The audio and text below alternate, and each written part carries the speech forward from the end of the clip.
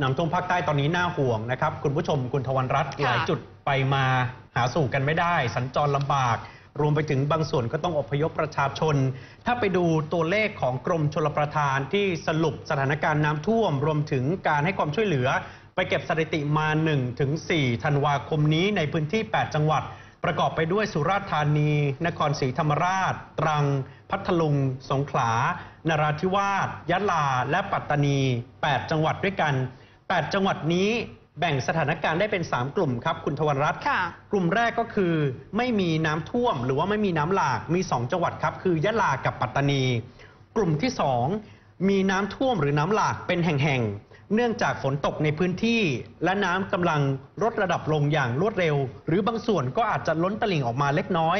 มีนราธิวาสสุราษฎร์ธานี ตรังและสงขลา อีกจุดหนึ่งก็คือ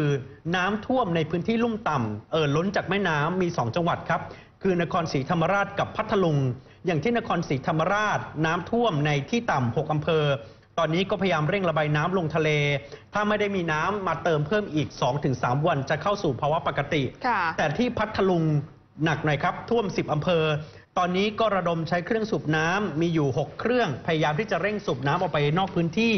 ถ้าไม่มีน้ำมาเติมเพิ่ม 2-3 วันก็จะกลับสู่สภาวะปกติ แต่จากภาพที่เห็นนะครับ บ้านชั้นครึ่ง 2 ชั้นท่วมกันแบบนี้ จะถึงตัวบ้านแล้วก็ต้องใช้เรือแบบนี้ฮะ ค่ะ ไปดูความเห็นหน่วยงานรัฐกันหน่อยนะคะ กองทัพบบกได้มอบหมายให้ศูนย์บรรเทาสาธารณภัยกองทัพบบก ศูนย์บรรเทาสาธารณภัยกองทัพภาคที่ 4 จัดกำลังพลและยุทธปกรณ์เร่งเข้าให้ความช่วยเหลือผู้ประสบภัย ร่วมกับหน่วยราชการในพื้นที่ 12 จังหวัดแล้วค่ะ โดยพันเอกวินไทยสุวารีโฆษกกองทัพบบกบอกว่าปัญหาอุทกภัยในพื้นที่ภาคใต้พลเอกประยุทธ์จันโอชานายกรัฐมนตรีได้สั่งการทางกองทัพบบกแล้ว โดยพลเอกเฉลิมชัยสิทธิศาสตร์ผู้บัญชาการทหารบก ได้สัดจัง